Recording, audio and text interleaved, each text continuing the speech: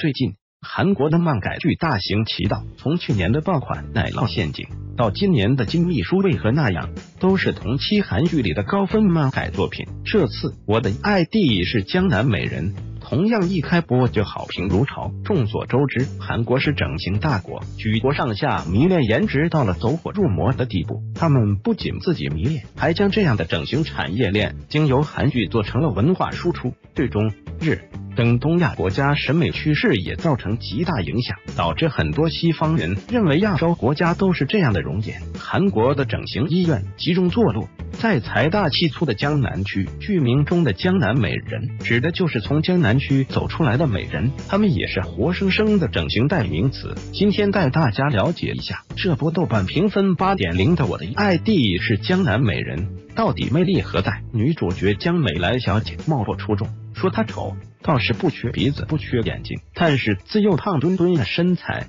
小眼睛。他鼻子鼻中人之子略有点远，自认容貌六十平均分以下，身材是 XXL 的码数，所以周围的熊孩子都欺负他，而小孩子赤裸裸的恶意往往更加伤人。受不了这样压力的美莱姑娘决定整容。他强迫母亲在详细解说手机危险行险的协议书上签名，在爱女如命的父亲难过到不可置信的神情里，完成了从六十分以下到七十八分以上的容貌改变，就此脱胎换骨之后，顶着一张美美脸蛋，抱着对大学生活期望。的江美来踏入高校，成为了一名大一新生，开始他波澜壮阔的大学生涯。都景说，从漫画中走出来的美貌少年，却堪称韩剧第一鉴表达人。连行走都自带 B D L，这样的王子冷面毒舌自然是必备属性。之后的剧情里可以看出，男主不但对白莲花的美人无动于衷，貌似还对曾经丑小鸭一样的女主。